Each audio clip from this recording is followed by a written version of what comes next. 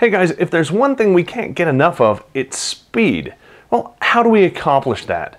We can do that either with speeding things up, in this case we're talking about processors, so we can make them go faster, or we can have more of them. That's today's topic for the Android Guy Weekly.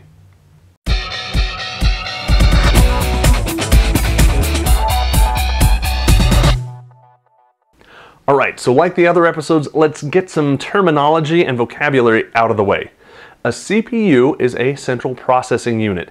It's the part of a computer or a smartphone, because really those are computers these days, or even a tablet, that processes instructions. Another term for it is CPU. Another term for it these days is a core. We'll get to some differences there in just a minute. So what this does is it processes instructions from programs or from apps the launcher being one, a screen tap might be one instruction, a, a, pinch to zoom might be another instruction, go get my email might be another instruction, uh, answer this phone call. So, so those are instructions. They all get processed through. In fact, there might be dozens of instructions for each one of those tasks. But we don't want to go into too much detail here. We want to basically make everything faster, right? Everybody's about speed. They want things done instantly, super fast. Okay, great. How can we make things faster? So let's go back to what I just said. I want to uh, get that incoming call. I want to pinch to Zoom. I want to check my email, check my Facebook, check my Twitter, uh, maybe upload something to YouTube all at the same time. This is all happening in the background on my smartphone. Great. That means there's a long line of instructions waiting to be processed through the CPU. How can I make that faster? All right, time for an analogy. Ready for this? Okay. Let's say you are getting on a subway now this subway has just one car. The train is just one car long and it only has one door. And there's 100 seats inside of it. So far, are you with me? Okay. Now, what's going to happen is we need to get 100 people through that door into that subway and off to the next stop where everybody's going to get back off again. Still with me? All right. 100 instructions, or 100 people in this case, that's that's a long line. You're going to be waiting for a while to load up that subway car. So how can we improve that? How can we make it faster? Well, first of all, why don't we make that door wider so that people can get into the subway car a little bit quicker? If the door's too narrow, you know, if some big guy like me is trying to get through the door, well, it's going to take a little bit longer, you know, for whatever reason to get through than some smaller person, a skinny person, a, a child, for example. It's going to take longer, so we can make the door wider. Now, that would be like the bandwidth to the processor, okay? How wide is that throughput? How, how wide is that, uh, that channel to get into the processor? We can change that. The next thing that we can do, of course, we can make the subway faster. So once everybody's loaded up, it gets from point A to point B a lot quicker. Okay, so that's, that's cool. We can do that to an extent. But eventually we run into some complications like, well, if we go too fast, the subway's going to jump the rails, maybe crash into the side of the tunnel. Eh, not good. Okay, so there's, there's a theoretical maximum that we can go before we have to redesign the whole subway system to make that work. All right, so we can kind of do that. We've maxed out our speed there. What's something else we can do? Let's put in another door. So now there's a door at the front and a door at the back. Great. That door at the back, that, that's our other core, by the way. Or hang on to that. We'll call that a hyper thread because we're still going into the same car. All right. So you've got the door in the front, the door in the back. Now uh, those hundred people, they can get in two lines, and in those two lines they can go in. They're still going into the same car, and now we can get the processes through twice as fast. Right? Ah, but there's a little bit of a caveat there. What happens if you have a family who's getting on? You might not want to split up you and your wife or your kids into the two separate lines. In fact, you might have some people who have to get on after other people. Say a mother and father want to get on before their kids to make sure that all of their kids are there. Or maybe you have the dad get in first, the kids, and then the mom get in at the, the last to make sure that all the kids got on. Okay, that makes sense. You don't want to split them up and put them at the other door. Well, computer tasks are the same way. There are some processes, some instructions that have to be run in a specific order. You can't split those up easily between two cores, so you just kind of bundle them together into a single thread in that one line. Okay, still with me? All right. What's something else that we can do? Well, we can add another car. In this case, that would be another core. And in this case, we're going to put, you know, two doors in it, one in the front and one in the back. So now we have four lines. We can get a whole bunch of people in there, even if the uh, the cars are smaller. If the cars are only 50 people each, well, we still have 100 in that train, and now we have four ways to get in. We can get in people really, really fast. And then, of course, if we keep it at the same capacity or the same clock speed, we can fit 200 people in the same space and just get a lot more people moving. Okay, so there's our analogy. It's all laid out, and, and we got kind of that all understood, right?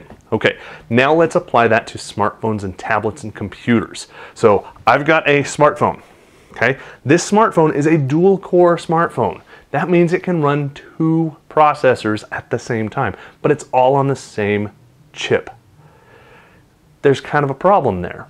Okay, once we put those two subway cars on the track, it takes twice as much energy to pull those cars down the track, right? Same thing with a dual core phone or, or having two processors in a phone. Essentially, you're doubling, again, theoretically, you're doubling your, your processing power, but you're also doubling your energy requirements. If they were completely discrete CPUs, completely separate chips, that would most likely be true. There would be some advantages to that. Okay, increased speed being one, because you know you got two processors to push instructions through. You don't have to wait as long, so the screen might be able to be off for uh, a longer amount of time, which will save you some power, and some other things like that. But you're able to get the processes in and done and through, and it's great. But that battery back there, it's only so big. Once your battery's gone, you're gone, and having an extra processor in there might be a problem. Well, dual core chips kind of negate that. Not entirely, but to a certain extent. You're essentially adding more transistors to one chip, which is going to take more power, but it's not going to take as much power as if you had two separate chips. So there's the question, and really the topic for this edition of the Android Guy Weekly. How many cores do we need? Well, for a long time I had a single core processor. You probably did too, unless you just jumped into the Android world today. Most of the phones out there, up until about a year ago, maybe a little bit more, were single core. And they work just fine because, well, it's a phone. It's not all that complicated. There's not a lot of processing that we do on it. We don't do a lot of heavy lifting with them. Now, compared to computers of yesteryear, yeah, we do.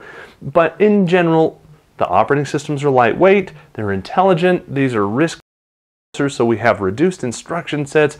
We just really grease the wheels to get things in and through the processor and on their way so that the phones feel fast. And for the most part, they do. And that's great. When you get multiple cores inside of a phone, you're just greasing the wheels even more as long as your operating system supports it. Android Ice Cream Sandwich does. Honeycomb kind of does. Gingerbread, not so much. Froyo, it was, yeah, we're not even going to talk about Froyo. All right? But dual core, it works great. I love it. It doesn't really impact the battery that much. I get about the same life out of this phone as I did on my G2, which is really, really kind of cool you know, this being so much faster and a bigger screen, and yeah, so cool. The battery's a little bit bigger too, but we're not going to talk about batteries today. So let's get back to cores. So that's my smartphone. Next up, I have 7.7 inch tablet. Now this tablet, I do the same things that I do on my phone. Now on my phone, I don't play a lot of games. Well, not really in-depth, intense games. I could, but I don't. I don't do a lot of heavy lifting. I don't do video editing. I don't do audio editing. I don't do really processor intensive stuff. It's just normal stuff and it runs through just as fast as I need it to. It's great. Well, I do the same things over here. The only difference that I have is, well, the screen's bigger, so I need a bigger battery, and I don't use this for phone calls. Now, I do some video chat and whatnot on, on Google Chat, but that's kind of not the point because I use my phone for voice calls more. Essentially, that's a big smartphone. Okay? until we talk about 10 inch tablets. Okay, so here's a Motorola Xoom.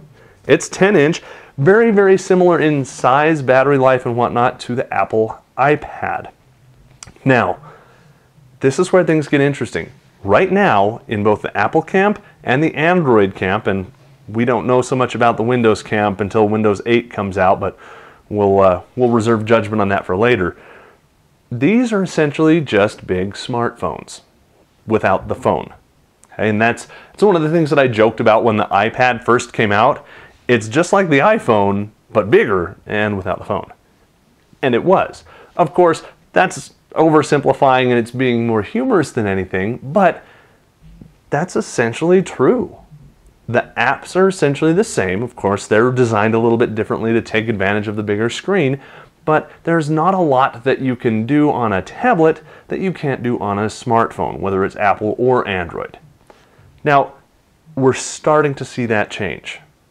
Okay, and let me kind of, uh, well, skip past that a little bit. Video editing, for example, you can't do much of it, a little bit, sure, but you can't do a lot on an iPad or even on an Android powered tablet. But again, 10.1 inch, right? I've got a laptop behind me that's 11 inches. It's a netbook. It's got a dual core processor in it. This has a dual core, dual core, dual core, all right? So we've got all these dual core machines. My laptop, I do video editing on. Okay, it's got a bunch of RAM. It's got a relatively large hard drive, 128 gig SSD, which isn't huge, but compared to what I have in my tablet, you know, it's about four times the amount. But I can do video editing on it. It's big enough. It's got a keyboard. I've got a mouse that goes with it. I can do video editing. It takes a long time to do video editing. Hence why I have a desktop computer that's a quad core with hyper-threading, so it looks like 8 again. I can do so much more stuff, or, or the same amount of stuff, so much faster, depending on how you look at it, because of the many cores. So, how much is enough, and how much is too much, and how much is not enough? Here's my thoughts, okay? But this is your part of the show.